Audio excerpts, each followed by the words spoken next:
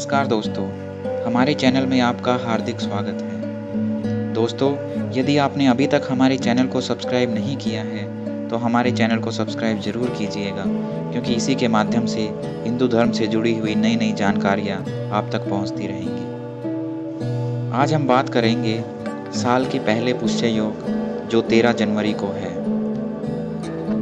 अगर इस दिन माँ लक्ष्मी की सही तरीके से पूजा की जाए पूरे साल आपको धन की कभी कमी नहीं रहेगी। तो सबसे पहले जानते हैं कि ये पुष्य योग है क्या।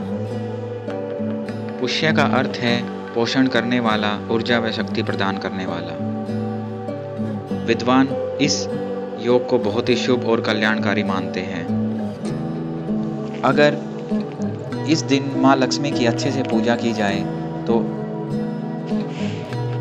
माँ लक्ष्मी की पूरे साल आप पर कृपा बनी रहेगी। तो आइए जानते हैं कौन से हैं वो उपाय जो इस दिन करने से माँ लक्ष्मी खुश होती हैं। सुबह लक्ष्मी मंदिर में जाएँ और माँ लक्ष्मी को कमल के फूल व सफ़ेद मिठाई मिठाई अर्पित करें।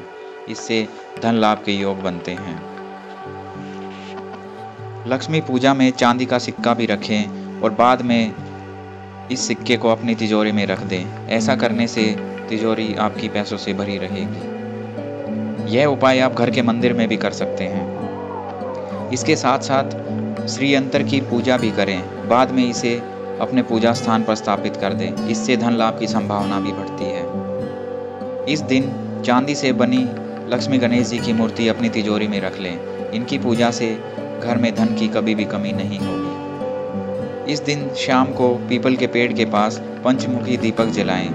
और माँ लक्ष्मी से धन की प्रार्थना करें। यह बहुत ही चमत्कारी उपाय है।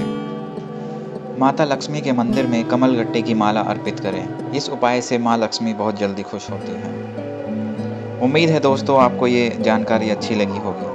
आपसे हमारा निवेदन है, अगर जानकारी अच्छी लगी तो हमारी वीडियो को लाइक कीजिए और हमारे चैनल को सब्सक्राइब कीजिए।